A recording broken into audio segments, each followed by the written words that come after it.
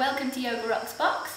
This week um, with Jadranko Miklec, that's how you say it, Yes. it? Yes, and we've retired to the peace of the yoga room this week.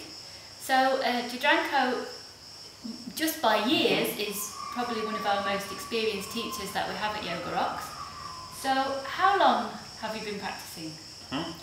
I am practicing yoga already 40 years. 40 years. Yes, 40 years, and uh, for 30 years I am teaching already. And you've spent quite many years in India, is that right? Yeah, I was traveling in India, meeting uh, some very uh, rare masters in Himalaya, like Maharishi Swami Devmurti.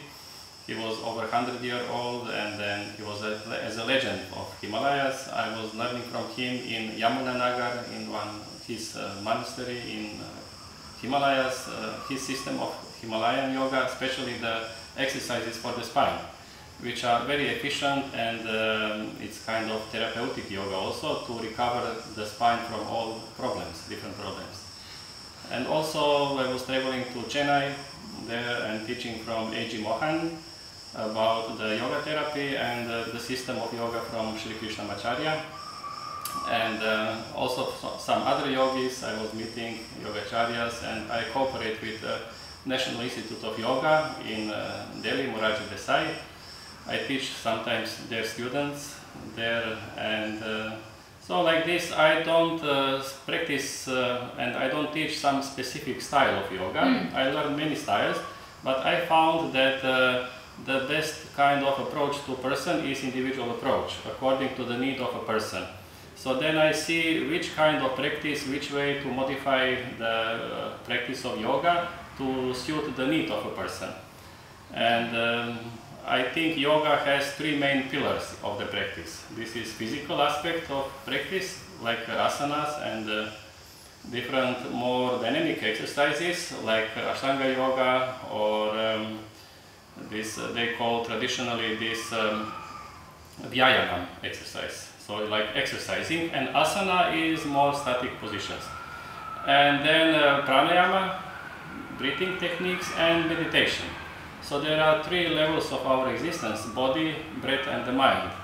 So to address all these three, and uh, then uh, to see to which person in which way to apply that practice, this I found somehow my way to teach. So body, breath and mind. Yes. And Jadranko has recently, his, his new book, just going to plug it because Mm. look, it's massive. So all his knowledge is now in here and it's totally amazing. It's got everything in, hasn't it? Mhm. Yes. It's totally It's really the I was writing about five years that book, Yeah. but it is all my 30 year of teaching yoga Yeah. in a way um, experience inside, Mm, Yeah. and uh, yes. So what I want to ask you is Mhm. um, the other day we were doing Gayatri Mantra. Like a Mhm. lot of our teachers use Gayatri Mantra.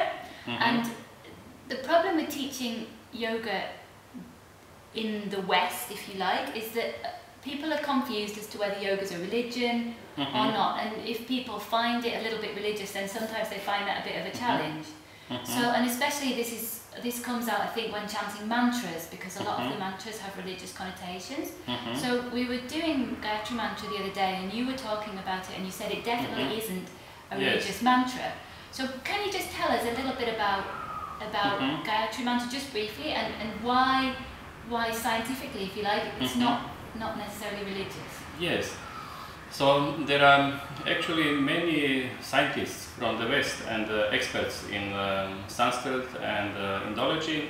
They were studying Vedas and Vedic literature, and it's very interesting. What they found is that the flora and fauna described in the uh, ancient Vedic text, for example in Rig Veda and some others, is not at all corresponding to the flora and fauna of India. So it is still a big question from where this knowledge, from where Vedas are coming. But basically, what uh, is present now is that the, um, on one conference of UNESCO, the Veda is recognized as a cultural heritage of all humanity. And the, um, first also sentence which they sent in the universe by this big, uh, you know, radio to to emit, uh, it was the first sentence from Rig Veda in Sanskrit. So in that way, Veda is beyond religion. This Rig Veda, for example, it is uh, just the uh, science of consciousness because Veda means knowledge, and the knowledge is the faculty of consciousness. So Veda is present in everyone's uh, mind, in everyone's consciousness. Just you need to explore that uh, value. And specifically, yoga also is the science of uh, mind, breath, and body. How to have a good health, how to live a full potential of the mind, and this is the most important thing in yoga. And uh, in India, yoga was present there many, many, many thousands of years. And naturally, each part of the planet Earth has its own culture, has its own religion developed. So the Hinduism, for example, the Hindu religion, they took elements from yoga and they incorporated into their own structure.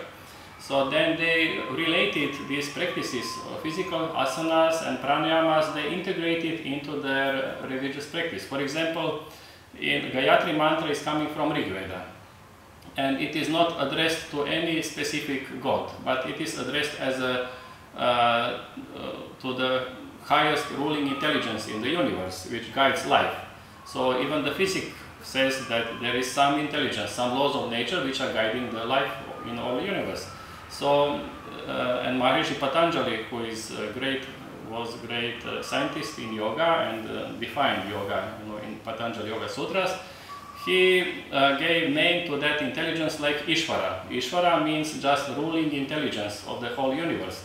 And religious people will say this is God. So whatever name we give to that level, and people were addressing that level because um, they wanted um, to relate to their source and to get the power from that source for their own life so that they can uh, awaken in their mind that cosmic intelligence so that they become very wise you know they can understand their own origin their own life their relation to whole universe. And for that purpose they were using Gayatri mantra which was mentioned in Rig Veda and uh, it has just, it's not mentioning any specific god or uh, Gayatri mantra means the meter Gayatri, it is 24 syllables. And it's mentioned in these 24 syllables of Gayatri mantra is 24 tattvas, the basic elements of which it is built all the creation. So we can say this is the Vedic physics hmm? in Sankhya, one aspect of Vedic literature mentioned, where it is all the cosmology explained, how the creation starts and from which elements and how it is developed. And even the modern scientists in the quantum physics, they found parallel of Sankhya with the modern research, the explanation of how everything is uh, starting. So if you if you're quite anti-religion, mm-hmm. as some people are, then practicing yoga yes. doesn't clash with that at all. Not at all. Any religion, yes, you can uh, be, you can practice any kind of religion and practice yoga. There is no clashing. So yeah. yoga is out of any religion, and and also Gayatri mantra is universal mantra. Yeah. So it is not belonging to any religion, yeah. and it can uh, really make very good uh, settling of the mind, clearing, and then bringing very good effects of this practice. so um, I don't know whether you can see, but this week we do have some, some foam mattresses down in the yoga room, and we don't have these all the time, but these are for the transcendental meditation, because this week Jadranko mm -hmm. is teaching transcendental meditation. okay, can you, and so can you just tell us, because for a lot of people they, they've heard the term transcendental mm-hmm, meditation, mm -hmm, but they know very little about it. So yes. could you just tell us very briefly, just basically yes, what, what it, it is? Yeah. Yes. So I spent many years with Maharishi Mahesh Yogi and I'm teacher of that meditation. And what uh, is basic in that meditation is trans to transcend means to go beyond. Yes. And meditation means uh, medium and ire, meditire, it's Latin word. So medium means the source and ire means to go to that level. So it is the process of going to your own source yes. and in that process you are, you are going beyond the mental activity. So this is the process of transcendental meditation. You come back to your own self. So you uh, don't want to be out of yourself too much. So it's good sometime during day to come back to yourself, you know, to settle in your pure state of your pure awareness and then uh, your mind relax completely. It gets very deep rest and then it become recovered and then because it is conscious rest, then the mind become very uh, silent and sharp at the same time. So the ability of perception increase, the memory increase, all uh, creativity is developing, all the faculties of the mind are developing. Through that experience. And the body at the same time gets a rest which is two times deeper than in a deep sleep. So it is recovering body from deep rooted stresses, which are the cause of many psychosomatic diseases. Mm. So it's very simple technique, also non-religious, practiced twice a day, morning and afternoon, just to bring balance in the life and to improve the faculty of the mind and the body and the health and the relation with surrounding and everything.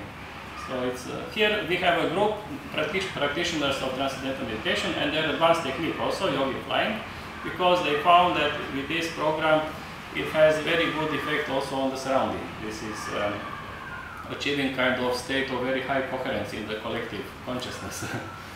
and yogi flying is uh, this advanced program of TM and which is basically based on the knowledge on Patanjali Yoga Sutras. So they say when you apply these sutras on that level of pure consciousness, then they manifest their uh, what is supposed to manifest, what is written there in the Yoga Sutras. So there is specific yogi flying when you um, uh, have certain sutra for that and then uh, the body reacts and then body gets transformed into the value of space as it is mentioned in that sutra and gets ability to become light, physically light and then to go up into the air. So, so this is um, one program which we conduct here and also Kayakalpa program. It's theme of this, uh, this year here and this is special program for rejuvenation of uh, enjoying the beautiful nature here around and specifically this five element therapy we do in the nature because these all five elements are building up our body mm? and five elements are around us in the nature. So we use this pure form of the five elements here in, in your place so that we can strengthen the five elements in our body because you can open these elements in the surrounding only where everything is pure. So when the water is very pure, then you can enter the water and uh, open yourself to that water to purify element of water in your body. You know, in the air, in the sun, and the, the soil, the sand, everything is ideal here for that program. So we enjoy this very much. yeah, it's been lovely. It's been totally lovely talking to you. Thank you, Jadranko. Um, yes. yes, and we could go on for a long time because Jadranko knows so much, but we'll, we'll, we'll stop there. That's great. Okay, thank you very, yes, very much. Thank you very much. That's all from Yoga Rocks Box. We'll see you next time.